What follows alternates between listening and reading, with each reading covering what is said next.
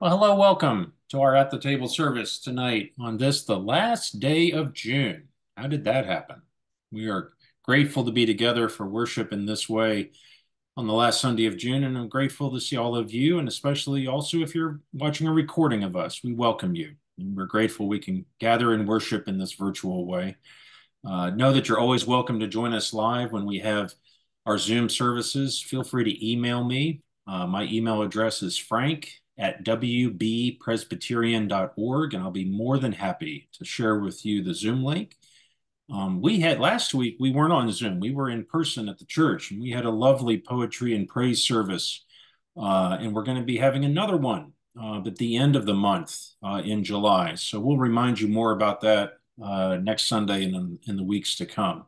Um, and just a reminder next Sunday on July 7th, we will we'll have a service on Zoom like we are tonight, but we'll also be celebrating the Lord's Supper. Uh, so be sure next Sunday when we gather, feel free to have your forms of bread and juice um, or wine, whatever is whatever works for you, uh, as we celebrate the communion as a part of our service next week.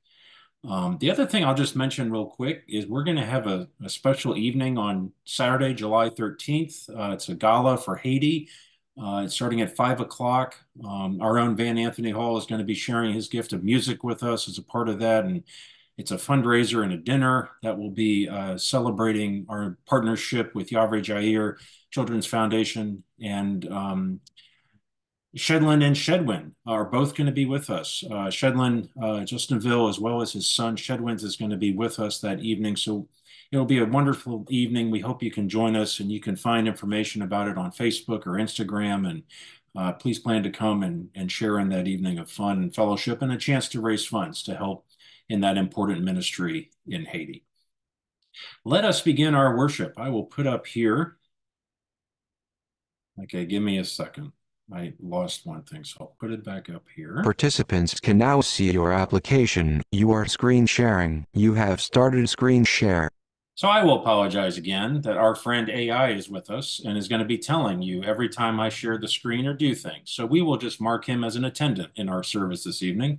Hopefully by next week, Frank will have figured out how to turn that off.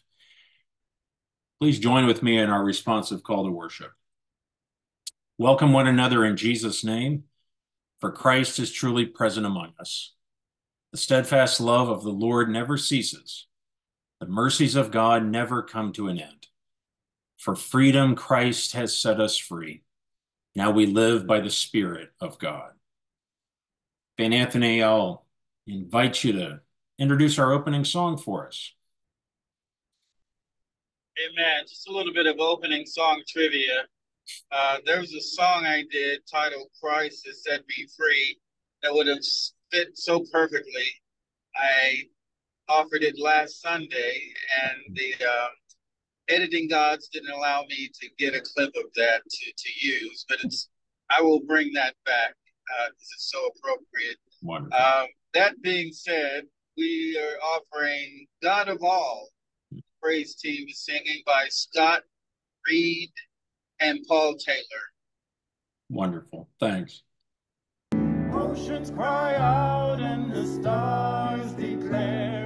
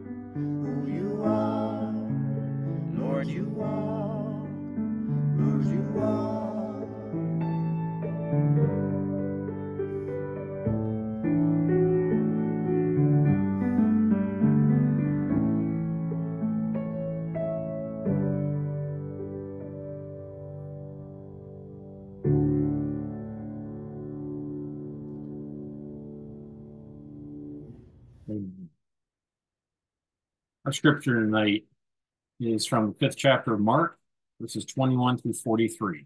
I invite you to hear God's word to us this evening.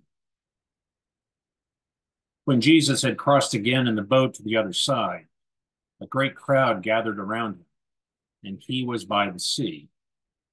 Then one of the leaders of the synagogue, named Jairus, came and, when he saw Jesus, fell at his feet and pleaded with him repeatedly My little daughter is at the point of death. Come and lay your hands on her so that she may be made well and live. So he went with him. And a large crowd followed Jesus and pressed in on him. Now there was a woman who had been suffering from a flow of blood for 12 years. She had endured much under many physicians and had spent all that she had, and she was no better, but rather grew worse. She had heard about Jesus and came up behind him in the crowd and touched his cloak. For she said, If I but touch his cloak, I will be made well. Immediately, her flow of blood stopped and she felt in her body that she was healed of her disease. Immediately aware that power had gone forth from him, Jesus turned about in the crowd and said, Who touched my cloak? And his disciples said to him, You see the crowd pressing in on you. How can you say who touched me? He looked all around to see who had done it. But the woman, knowing what had happened to her, came in fear and trembling, fell down before Jesus, and told him the whole truth. Jesus said to her, Daughter, your faith has made you well. Go in peace and be healed of your disease. While he was still speaking, some people came from the synagogue leader's house to say, Your daughter is dead. Why trouble the teacher any further? But overhearing what they said, Jesus said to the synagogue leader, Do not be afraid, only believe. He allowed no one to follow him except Peter, James, and John, the brother of James. When they came to the synagogue leader's house, he saw a commotion, people weeping and wailing loudly. When Jesus entered, he said to them, Why do you make a commotion and weep? The child is not dead but sleeping. And they laughed at him. Then he put them all outside and took the child's father and mother and those who were with him and went in where the child was. Taking her by the hand, Jesus said to her, Talitha koum, which means, little girl, get up. And immediately the girl stood up and began to walk about. She was about 12 years of age. At this, they were overcome with amazement. Jesus strictly ordered them that no one should know this and told them to give the little girl something to eat. May God add a blessing to the reading of God's word this day. What do you pray for? You pray for a new job for you or your friend or a family member? Do you pray for improved health for yourself or someone you love? Do you pray for a sense of direction or purpose for a child who is struggling with what to do next in their life? Do you pray for an end to violence in our neighborhood, our city, our nation, our world? This past week, I had been praying for many things. I held in prayer the youth and adults that were serving in mission on our behalf in Wilmington. I prayed that they would stay safe and well in what has been awful, awful heat. I asked God to watch over me as I drove up to Washington, D.C. on Tuesday and Wednesday to get a bed frame and a mattress from Erin, our daughter, and that I would survive one last trip driving to and through D.C. I held in prayer family, friends, and church members who have been struggling mightily with illness. I prayed for our community and our country as we face so many monumental issues. I prayed that leaders will seek the good of the whole, not what is best for them. And I prayed for Mary Todd and Camden Ferguson as they were married yesterday at Western Boulevard, and I as they begin their new life together as a married couple. Several years ago, a couple of our who are close friends of ours announced that they were expecting their first child.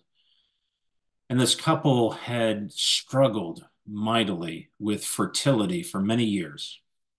And eventually they used IVF as their last option to hopefully conceive. And when I got their email many years ago that said that they were pregnant, it I literally cried. It brought tears to my eyes. And I remember praying fervently for them in the months that followed. And I was grateful that all went smoothly as they welcomed their only child into the world some eight years ago. In the midst of so many changes that are taking place in our society and our community, I'm constantly praying for wisdom, for guidance, for discernment, both as a pastor and as an individual Christian.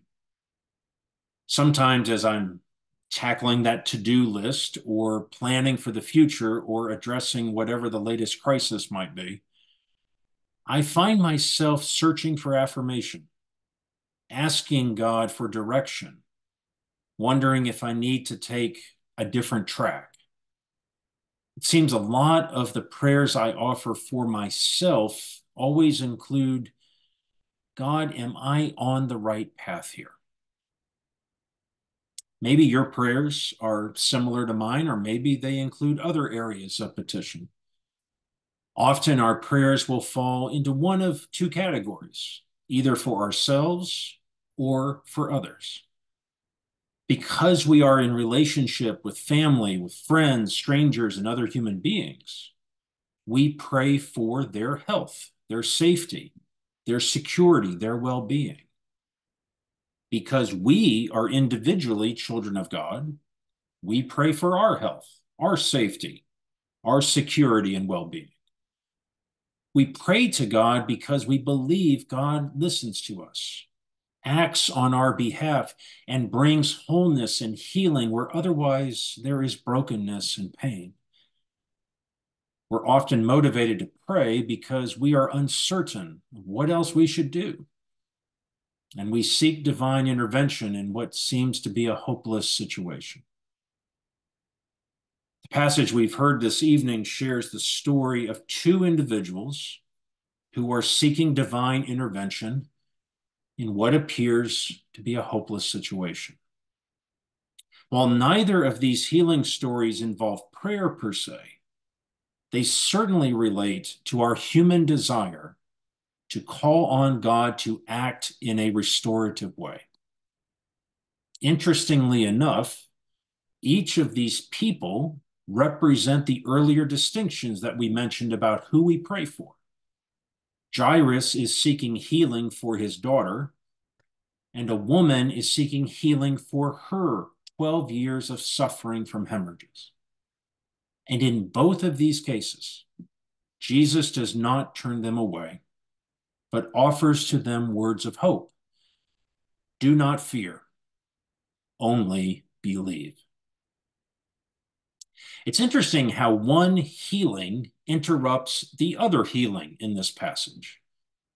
We begin with Jesus responding to Jairus' plea to come and heal his daughter who's critically ill. As he's walking with the crowds of people to Jairus' house, the woman who has suffered from hemorrhages desperately seeks Jesus' healing touch. Her hand touches his garment, and that simple action heals her of her affliction. And I love Jesus' reaction. It reminds me of a parent who knows something has happened with a child. Who touched who touched me? Who touched my clothes? And note that the woman doesn't disappear into the crowd. She doesn't retreat into anonymity. She steps forward, albeit in fear and trembling, and admits to Jesus the whole truth. Perhaps Jesus' affirmation is not only for her faith, but also for her courage and her honesty. Daughter, your faith has made you well. Go in peace and be healed of your disease. By the time Jesus has finished his conversation and interaction with the woman, we learn that Jairus' daughter has run out of time. Your daughter is dead. Why trouble the teacher any further? That would be the normal human response, wouldn't it? It's clear that the illness has run its course. There's no need to bother this great man of God any further. He can't do anything for the little girl now. Let him go and begin the grieving process for your child. But Jesus will not accept what the world sees. And he turns that perspective on its head with God's grace. He tells them the child is not dead, but is sleeping. The world doesn't see that and laughs in his face. Jesus sends out the crowd and with Jairus and his wife stands beside the girl's bed. He takes her hand, says, Little girl, get up. And she promptly stands up and walks around the room. Jairus' prayers had been answered, and Jesus shows the world that only God will have the final word. And yet, how do we react when our prayers to God don't turn out as well as the woman or Jairus? How is our faith shaken when all we see is continued violence and poverty and hopelessness around us? How are we supposed to approach not only prayer, but also our mission into the world if things don't appear to be heading in the way we want them to. A Presbyterian pastor writes I have a friend, a man of deep faith, who was diagnosed with Parkinson's disease when he was still in his 50s. He and his wife prayed that he might be healed. 20 years later, he is in the last debilitating stages of that disease. Nevertheless, he once told me that his prayers had been answered. He said in all sincerity, I have been healed, not of Parkinson's disease, but I have been healed of my fear of Parkinson's disease. These two biblical healing stories from Mark in which people turn to Jesus for healing will raise the question Does prayer work? Well, if we mean by this, do you get what you pray for? The honest answer will be sometimes, but not always. Pray as they may, we all know that all prayers are not answered as we pray them. It may be helpful to remember that prayers for healing are not simply utilitarian. That is to say, prayer is not simply a matter of bending the vector of divine will toward my will, my needs, my hopes. More profoundly, to ask something of God is to edge into deeper relationship with God God's mind may or may not be changed. But I, my mind and my heart, I may be changed. The phrase that speaks to me most deeply out of this passage is Jesus' words to Jairus when he learns that his daughter has already died. Jesus says, Do not fear, only believe. When our prayers are not seemingly answered, we can fall into fear. When it feels like hope has gone, we can drown in anxiety. when the troubles of this world seem to be insurmountable, we might decide enough's enough and refuse to reach out to help, to love, to serve. And in those moments, Jesus says, Do not fear, only believe. Do not allow fear to take over your worldview. Do not fear what is unknown. Do not fear what the world tells you to fear. Believe. Believe that you can draw closer to God through your prayer life. Believe that your heart and mind can be changed by God's grace. Believe that the world does not have the final word. Only God has the final word. that final word also relates to justice and righteousness, something we often pray for, but feel is miles and miles away. Willie Dwayne Francois III reminds us that out of this story also comes the reminder that we can take steps of risk and faith and God will act accordingly. Francois writes There's an irony in this miracle story. The unclean woman interrupts a person who represents her exclusion. Jairus, a leader of the synagogue. On the way to his estate, where his daughter teeters on the edges of sickness and death, Jairus observes the healing consequences of the woman's rebellious reach, bodily wholeness, and emotional security. Because of her rebellious reach, the unclean woman claims dignity and wholeness and a future, all in the presence of a religious elite. Rosa Parks had a rebellious and resilient reach. The civil rights era luminary sparked a campaign in Alabama that ricocheted across the United States. In 1943, James Blake, a white bus driver in Montgomery, ejected Parks from a bus after she refused to re enter through the rear of the bus. Rather than comply with segregationist logic, she defiantly opted to wait in the rain for the next bus to arrive.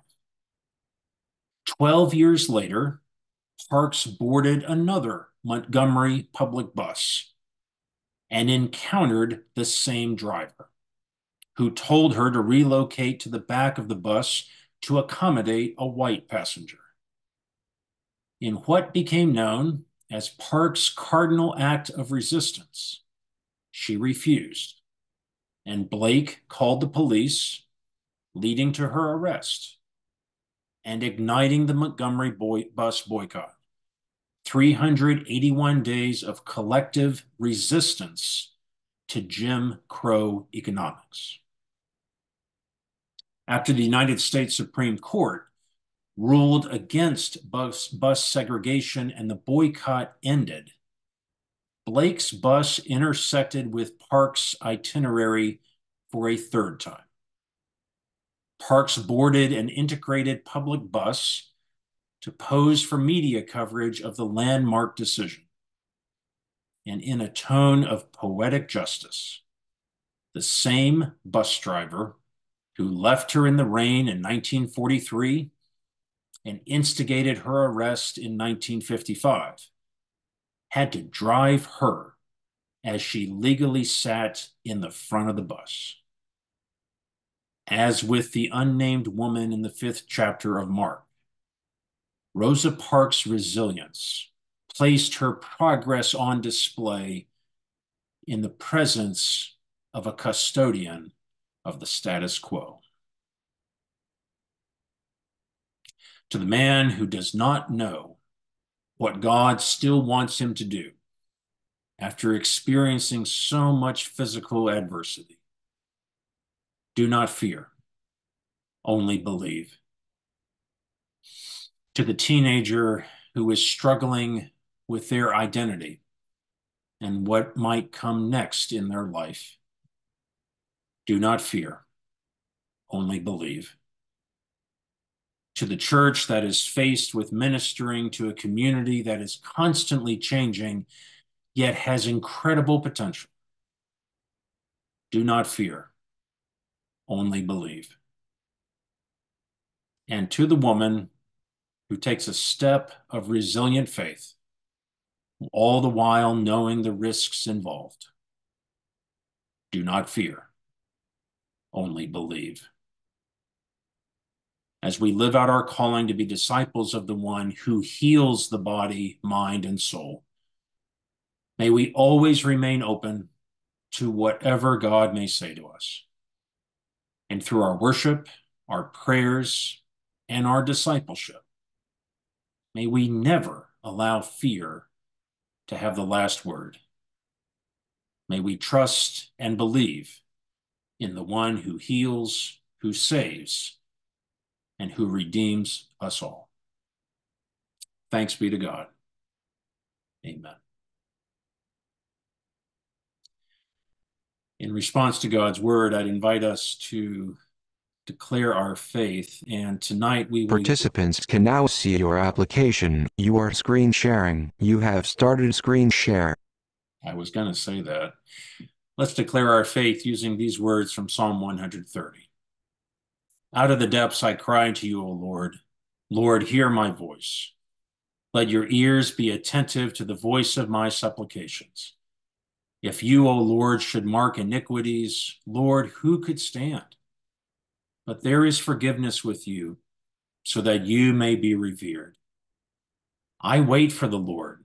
My soul waits, and in his word I hope. My soul waits for the Lord more than those who watch for the morning, more than those who watch for the morning. O Israel, hope in the Lord, for with the Lord there is steadfast love, and with him is great power to redeem. It is he who will redeem Israel from all of its iniquities. We come now to a time when we lift up our prayers for ourselves for others and for our world. And I thought tonight for our prayers, let us each, as we have a petition to share, to, to simply unmute ourselves and share it. And then invite us to, if you, whoever says that, to simply say the phrase, Lord, in your mercy, and we all respond, hear our prayer. And then at the end, I will collect us together and we'll say together the Lord's Prayer. I would invite us to remember tonight Mac Winslow's father, Jim, who suffered a stroke on Friday and is a patient at Duke University Hospital in Durham. And Mac shared with me this afternoon that he's doing better. They've had good signs of, of they're more optimistic, he said, than they were yesterday. So we are grateful for that, but we ask for God's healing touch and, and comfort to be with them. Lord, in your mercy, hear our prayers.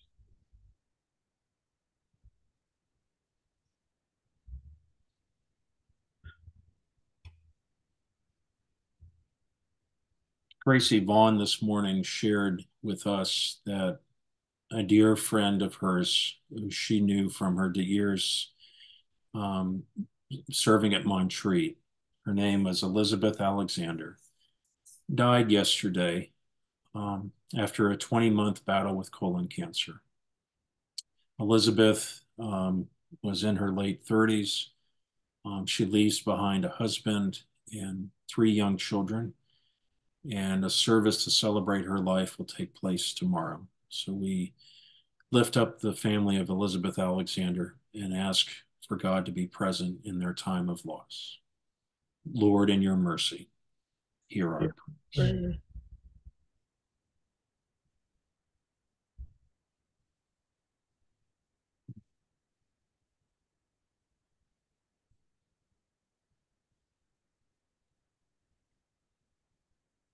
My cousin Von Seals grandson who had the traumatic brain injury after a motorcycle accident.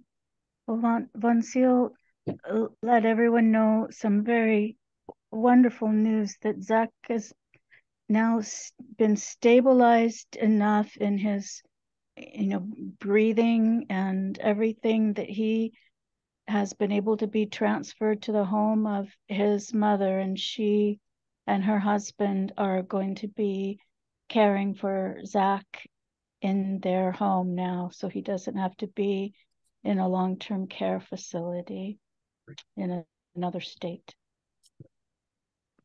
Lord in your mercy. Hear our prayers. Jack Gebby lifts up a gratitude, prayer of gratitude that both his son um, David and his and David's wife Debbie, um, both who have had medical um, issues and, and concerns, are both getting good signs and improvement, and he gives thanks for that. So, Lord, in your mercy, hear our prayers.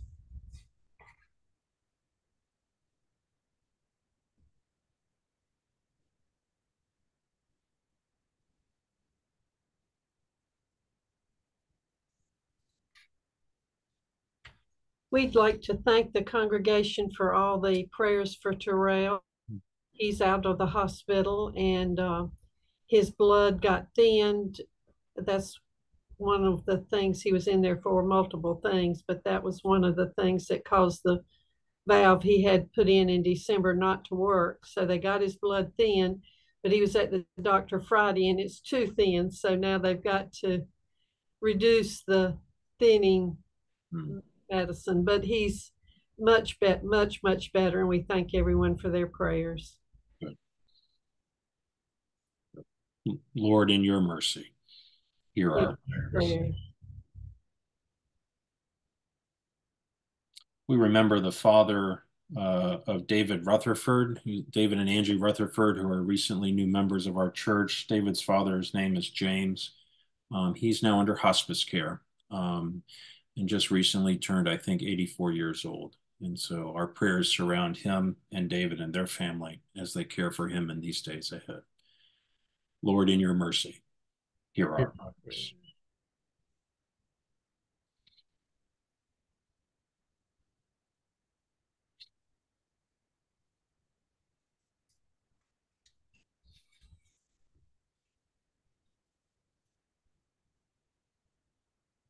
Gracious and loving God, we know we can come to you anytime, any place, and turn to you in prayer to lean deeper into our relationship with you.